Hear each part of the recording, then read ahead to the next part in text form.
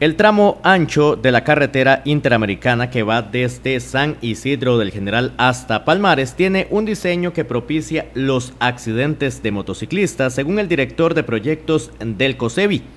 La cantidad de salidas y el diseño de las mismas propician que los accidentes sean constantes en esta ruta. Las intersecciones, o sea, el diseño geométrico de las intersecciones, la forma en que están diseñadas eh, facilitan en alguna medida, exponen en alguna medida a los conductores, por ejemplo, los accidentes de moto en la noche además de que no se ven la maniobra que tienen que realizar los motociclistas para incorporarse a la vía, usualmente son la tipología del accidente de moto en, el, en este tramo de los 10 kilómetros es, una, es, una, es un accidente en ángulo recto es el accidente en ángulo recto, es aquel accidente que la persona viene de las calles, de las comunidades y una vez que se va a incorporar, si no tiene visibilidad, si no tiene amplitud, digamos, para poder moverse en una forma segura, o sea, el señalamiento, la iluminación de las intersecciones, entonces la probabilidad de que vaya a tener un accidente es muy alta, ¿no? Y es que en este tramo existen una cantidad de salidas que terminan en la carretera principal. Entonces hay problemas de diseño, hay problemas de cantidad de motos, ahí tenemos problemas de inclusive la revisión técnica vehicular. O sea, la moto tiene que llevarse a la revisión técnica vehicular para ver cuál es el estado mecánico de la moto.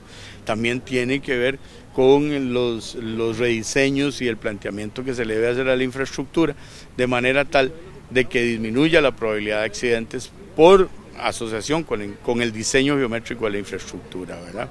Entonces ahí vemos las entradas a la vía rápida son incontables, son incontables y es una vía que si bien tiene velocidad de operación de vía urbana, de zona urbana, es una vía que permite por su diseño, permite que la gente corra. Para Rojas, el problema de los accidentes en moto es un asunto que va más allá de las fronteras. Los motociclistas es un problema de América Latina, es un problema efectivamente en el cual la moto ha venido cobrando, digamos, un, papel preponderante en, el uso. La gente está optando por la moto, la moto es más barata. Vean, en Pérez Celedón encontramos cualquier tipo de trabajo de moto.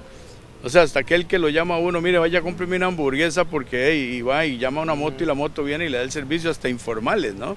Entonces, Realmente es un tema que no se ha podido detener, es un tema que tiene una connotación más, más amplia en el sentido de que no solo es tener un carro, tener un vehículo, sino que es el vehículo que se puede obtener. Pero la gran cantidad de motos en las calles también deja dudas del sistema de transporte público que existe en la zona y en el país en general. Ahora, la moto viene a cuestionar la calidad y la eficiencia del sistema de transporte público el sistema de transporte público masivo no está dando resultado, no está respondiendo a las necesidades de la población y por eso la población está optando por la moto. Lógicamente, al aumentar la cantidad de motos, aumenta la probabilidad, aumenta la exposición al riesgo para que tengan accidentes. Ahora, el trabajo para bajar los accidentes en moto continúan y esperan que den los frutos positivos como ya se produjo con los vehículos en cuatro ruedas sobre esta parte de la Interamericana Sur. Este tramo precisamente es el que hemos venido trabajando por años y años, se disminuyó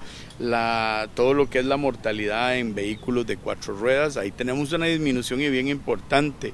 El tema del control de velocidad, el control de alcohol en este tramo ha sido un trabajo realmente incesante que ha hecho la policía y mis respetos.